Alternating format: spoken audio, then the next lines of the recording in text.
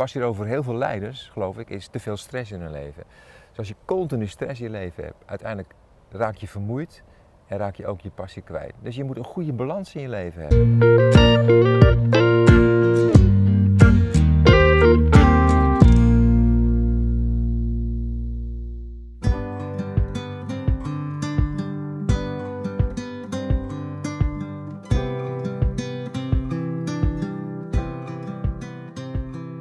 Wat een schoonheid, Jan. Ja, dit is, dit is echt ontzettend mooi. De Oostvaarderplassen.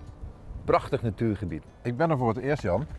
Ja, ik niet. Nee, want jij bent hier heel veel geweest. Ja, 35 jaar geleden eh, had ik een vriend en dat was een vogelaar. En die heeft mij aangestoken. En toen heb ik een passie gekregen om te vogelen. En dat heb ik jarenlang gedaan, heel intensief. Ik had altijd een verrekijker bij me. En ik heb een, een kleintje altijd, hè, handzaam kan ik in mijn, in mijn zak steken. En dat, dat heb ik jarenlang gedaan. In de omgeving van Den Helder. Op een bepaald moment ging ik kijken, waar zijn mooie natuurgebieden? En toen ontdekte ik deze plek, de Oostvaarderplassen. En die ben ik regelmatig geweest. Ging ik heel vroeg de deur uit, soms met vrienden. En eh, naar deze plek. En dan ging ik hier rondwandelen in vogelhutten en met mijn verrekijkertje. Ja, ik genoot van de stilte. Ik genoot ervan om, om prachtige mooie dingen in de natuur te zien. Ik, ik wilde ook zoveel mogelijk vogels spotten en bijzondere vogels spotten. En dat is ja, geweldig. Er kwam een gedrevenheid in je Er kwam een gedrevenheid in me, ja.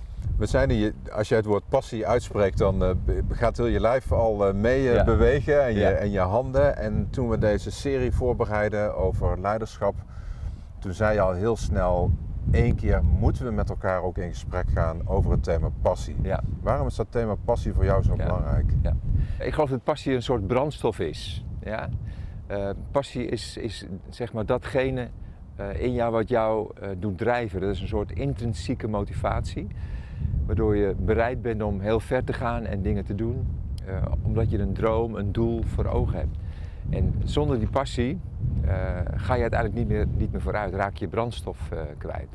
Dus je moet af en toe stilstaan, Ja. jezelf tot rust brengen om weer die verrekijker te pakken Ja. en te weten waar je naar Waar wilt nou kijken. Ja. Dat is wat bij mij in beeld opkomt. Als ik zo die verrekijker pak en ik kijk ver weg, dan haal ik als het ware al dichtbij ja, mooi. wat nog daar is. Ja, ja, klopt. Ja.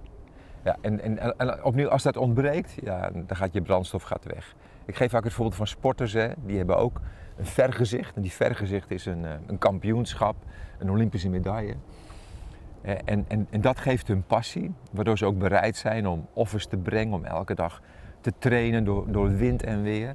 Eh, Want ze hebben een vooruitzicht. Ze, ze hebben een perspectief, eh, een, een, een verwachting. Ik ga die medaille ga ik, eh, ga ik halen. En hetzelfde geldt voor leiders. De droom die je hebt, ja, dat geeft je de brandstof om daarheen te bewegen en door te gaan.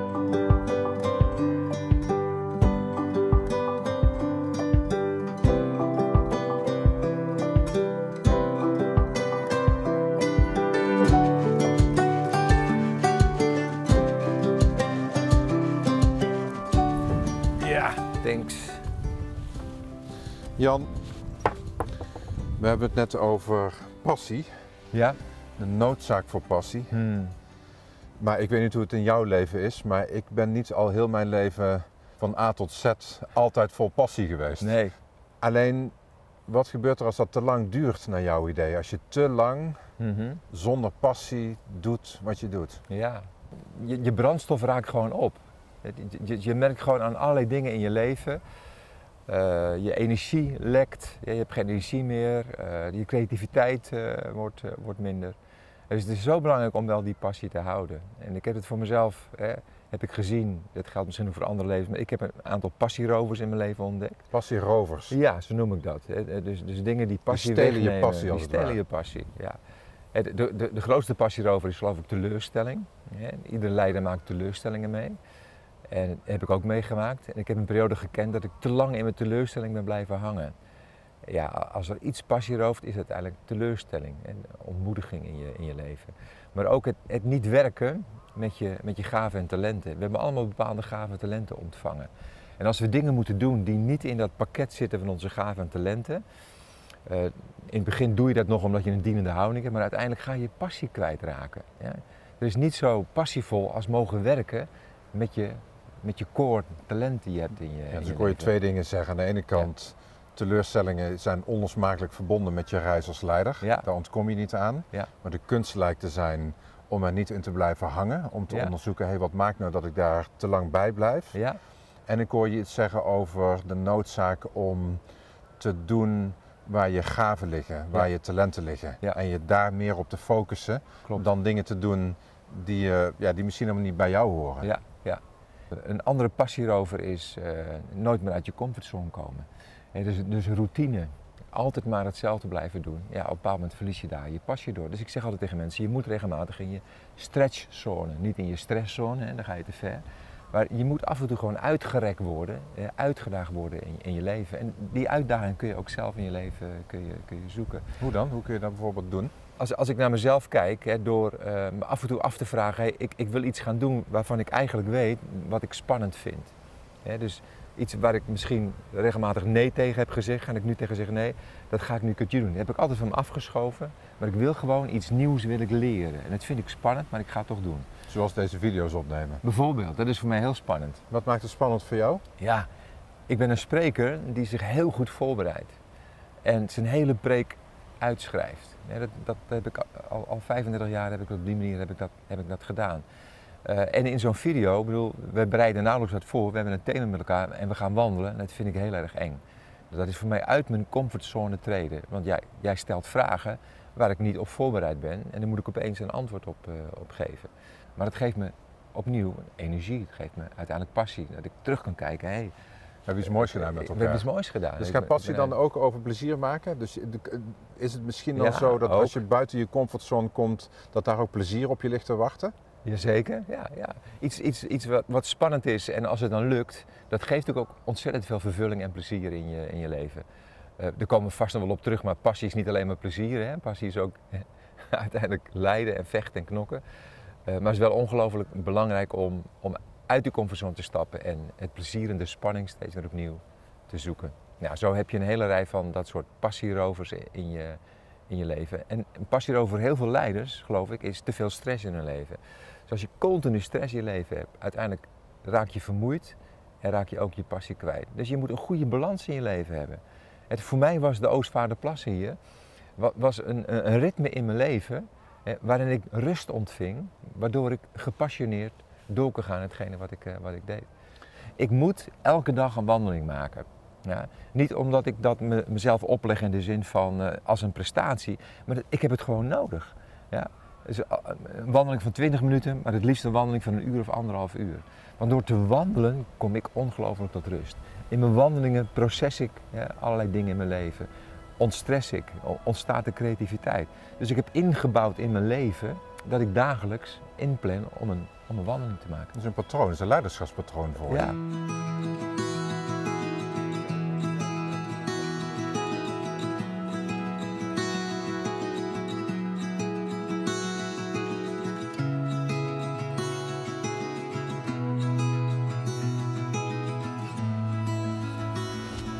Ik ben benieuwd wat voor vreemde vogels we hier tegenkomen, Jan. Ja.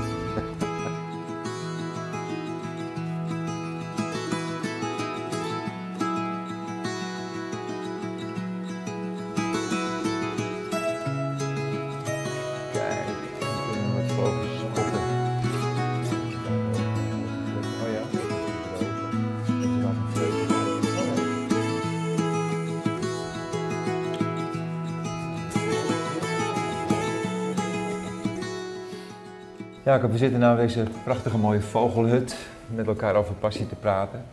En eh, net in onze wandeling deelden we ook even met elkaar dat bij passie ook eh, lijden altijd eh, naar boven komt, zeg maar. Dat lijden een aspect is van, van passie. Hoe, hoe kijk jij daarnaar? Nou, het is, het is zelfs zo dat het woord passie twee betekenissen heeft. Het betekent hartstocht en het betekent lijden. En als ik bijvoorbeeld denk aan de geloofsbeleidenis die de christelijke kerken al eh, eeuwenlang eh, uitspreken, dan komt daar ook de zin voor passus et sepultus est. Dus het passus Ja. betekent Jezus die heeft geleden en is gekruisigd, gestorven en begraven. Hmm. En dat vind ik altijd een, een mooie maar ook wel buitengewoon ongemakkelijke Ja. Verbinding met dat als we gepassioneerd willen zijn, als we willen doen in het leven wat we te doen hebben, we er niet aan ontkomen om ook stil te staan bij al die dingen die ons van die passie weg willen houden. Ja. Als we bijvoorbeeld kijken elk jaar opnieuw, dan is The Passion, Mhm. die op Witte Donderdag wordt uitgezonden op televisie, die trekt miljoenen kijkers. Ja. Hoe komt dat nou? Ja. Dat is niet alleen maar een verhaal over plezier maken, over lol hebben, over leuke Nee. dingen doen. Nee, het Maar- dramatisch natuurlijk. Het is een vrij dramatisch verhaal, Ja, vol ja. met conflict en verraad en twijfelen, niet weten. En het zijn precies die dingen die we het liever willen vermijden, omdat we graag plezier willen maken, omdat we het fijn willen hebben, omdat we het leuk willen hebben. Ja. Maar ik denk dat het niet zo krachtig is Ja. en ook niet zo noodzakelijk dan in je leven te leren ontdekken dat je gaven in de wereld neer kunnen zetten, je talenten kunnen ontwikkelen, gaat steeds opnieuw langs de lijn van beproefd worden. Hmm. Dat is bij Ja. kinderen al zo, als je dingen moet leren. Mhm. En we zien dat het trouwens in de huidige maatschappij een buitengewoon grote uitdaging is. En we willen vandaag resultaat hebben. Ja. Vandaag moet het leuk zijn, vandaag moet het gezellig zijn. Maar dat gaat niet. Je kunt niks van waarde, van blijvende waarde in je leven leren, Hmm. als het ook niet gaat langs teleurstellen, langs Ja. falen. Ja. Het is wel mooi trouwens, het woordje falen, fail in het Ja. Engels, zou je ook de woorden de- aan kunnen koppelen, first attempt in learning. Dus falen is een, een toegangspoort tot Ja. kunnen leren. Ja. Ik geloof dat uiteindelijk de uitnodiging van het leven is, maar ook in de context van ons geloof, dat het de uitnodiging is die Jezus zelf doet, om dat lijden niet het laatste woord te laten hebben, Mhm. maar om in jouzelf een bron van inspiratie te kunnen laten zijn Ja. voor iets wat er uit dat lijden naar voren wil komen. Ja. Iets goeds, Hmm. iets anders, iets beters, iets aangenamers. Maar dat lijden als het ware elke keer een uitnodiging is, om waar we het eerder over hadden, om die verrekijker te pakken. Ja, ik heb dat lijden vandaag, maar wat was ook alweer die grote droom die ik in het leven had? Ja. En hoe bereidt het lijden mij, als het Mhm. ware ook voort, om die droom uiteindelijk toch te kunnen realiseren? Ja, ja dat, dat doet me eigenlijk denken aan een, aan een, aan een verhaal wat ik eh, lang geleden heb gelezen van een meneer Alan Patton. Hij heeft de Nobelprijs voor Literatuur gewonnen. Hij heeft een boek geschreven over de toestand in Zuid-Afrika in de jaren 50 eh, ten aanzien van apartheid. En in het verhaal beschrijft hij uiteindelijk de, de, de hoofdpersoon, zeg maar, die heeft een doel voor ogen, heeft een visie, heeft een droom. Hè. Dat is een zwarte jongen en die wil het onrecht wat er bestaat, wil hij bestrijden.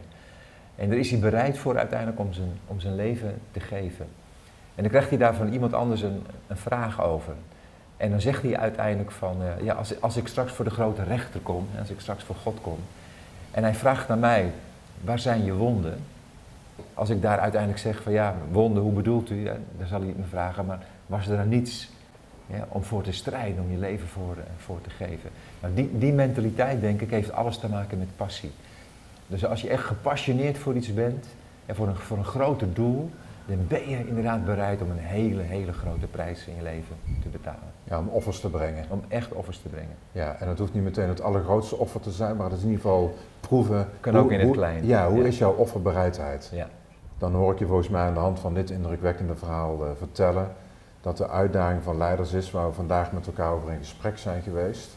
Aan de ene kant om gepassioneerd te zijn om met de teleurstelling en het lijden van het leven om te gaan, Ja. maar aan de andere kant ook te lijden hebben en teleurgesteld moeten raken om een passie weer te vinden. Dus dat Ja. ze hand in hand met elkaar gaan. ja, mooi.